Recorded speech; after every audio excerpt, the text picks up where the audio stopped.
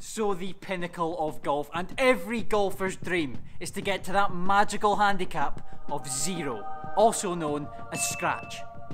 To get to this handicap, we all know you need to be very good at golf, but you also need to know just what is the best way to get good at golf. So in this video and series, we're going to find out just how easy it is to get to scratch or just how impossible it might be. This is my journey and this is the road to scratch.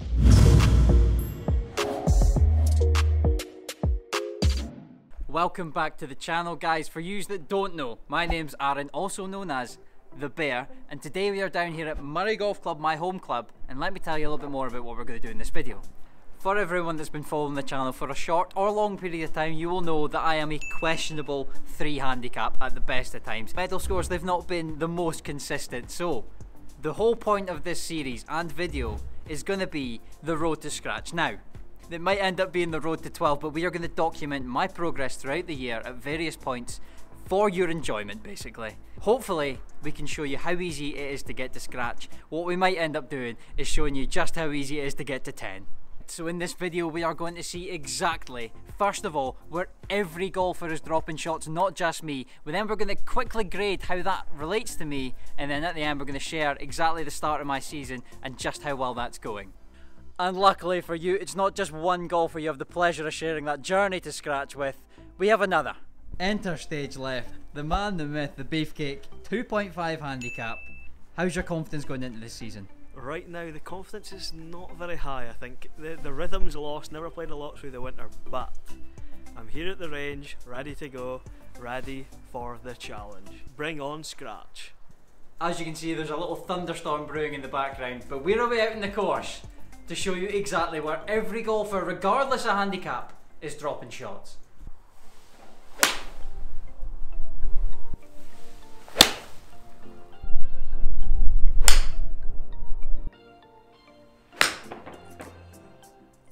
Right, so we're down here at Hazelhead in Aberdeen to tell you exactly where every golfer, regardless of ability, is dropping shots. It might be one of these, might be a few of these, or it might be all of them. First up, we're talking tee shots. Now we're here on the short par 4, but the most important thing off the tee is position. We're automatically thinking, get the big dog out. But, what I'm saying is, why don't we think about hitting our club, finding the fairway? Position is the most important part. Give yourself a chance with the next shot golf is all about making it as easy as possible for yourself. So let's just hit the fairway. A bit like that. Now what I'm not saying is never hit the driver. All I am saying is there's going to be times when you can let that big dog eat. Just know when they are and when you do hit driver you don't have to swing yourself off your feet. You don't have to hit a driver 330 yards every time. Lovely. So in terms of practicing what we preach, I'd say this is something that I personally need to work on. Uh, I miss the fairway quite often, as you've probably seen if you've watched the channel before. So we're going to grade ourselves on a C and we're going to try and work on that this year on the road to scratch. So we've found a short grass, we've got 130 left into the green. Up there, it's surrounded by bunkers short. We now know the miss is long. Let's take the club, know your yardages, that's going to miss in the right spot that we can get up and down from. We're between clubs, we've took the wedge, we're going to make sure that we hit it past the pin and we're going to make sure we make par. A little bit like that. Now when it comes to missing in the right spots and for noting my distances again, this is something we're going to have to practice a little bit what I'm preaching here and we're going to have to work on it in this road to scratch. But I'll grade myself around maybe a B minus. I do know that the boys on the channel that play a lot will tell you that my miss is always short right and they're probably right. Now when it comes to around the greens, what I'm saying here is put all the loft you've got in the club away, you don't need it. When it comes to just a small chip, get out a pitching wedge, an 8 iron, a 9 iron, hit a wee bump and run.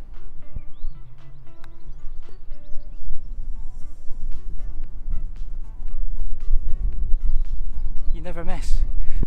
Now what I'm not saying is never use loft in your wedge. There is going to be times where you need to use the loft in your wedge.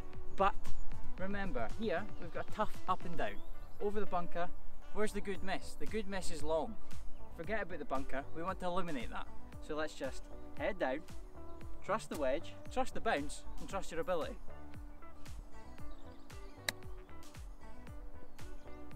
a little bit like that. Now, in terms of work for wedges, I think that the wedge game is still pretty strong. Uh, it's probably the reason that I still am around the, the lower ends of the handicap I am, and I will grade it an A minus for now. There is still a bit of work to be done, a little bit of consistency, a little bit of shot imagination, but we're happy enough with how it is this season.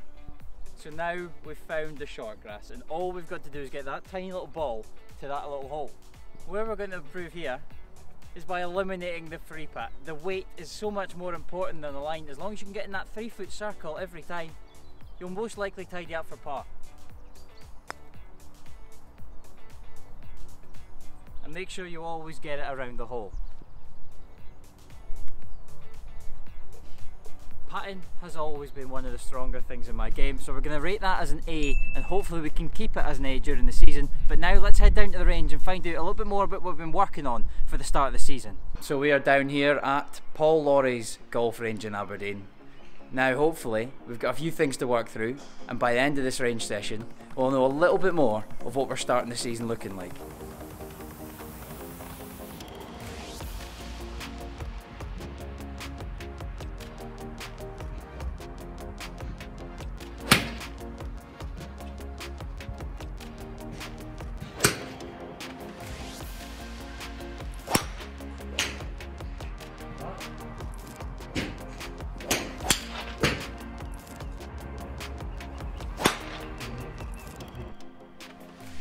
But this isn't just work over the course of one single range session. This has been work for the last few months. Over and over again, just hitting balls until we can get them bad shots not so bad. The time had now come, the first medal of the year. The setting was Moray Golf Club. The temperature was rather cold. But it was time to see if that hard work had paid off.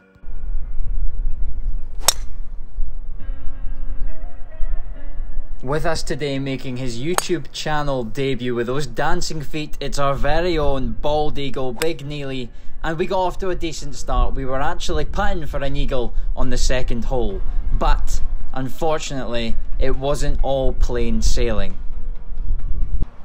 On a quick side note before we tell you that final score for the first round back, if you're enjoying this Road to Scratch series and looking forward to it, and you'd like to see us do a Break 75 style, every shot shown series around golf courses of Scotland, then you know what to do. Hit that like button, get this video to 300 likes, and we will do that. And of course, hit that subscribe button and ring that notification bell. It really helps us out more than you can imagine. Okay, and that has brought us to the end of the video. The first round score of the year 75. Not too good, not too bad, plenty to work on. But Beef's first round score of the year 74, so he's already winning the race. We will continue on our road, on our journey. If you want to be invested in that journey, you know what to do. Hit that like button, hit the subscribe button, and ring that notification bell. It helps us out more than you can imagine. We've got plenty more videos for you to watch. Why not go and have a look at one of them? The journey has begun. Golf's all about making it as easy as possible for yourself, so why not replicate that? Now I need to again.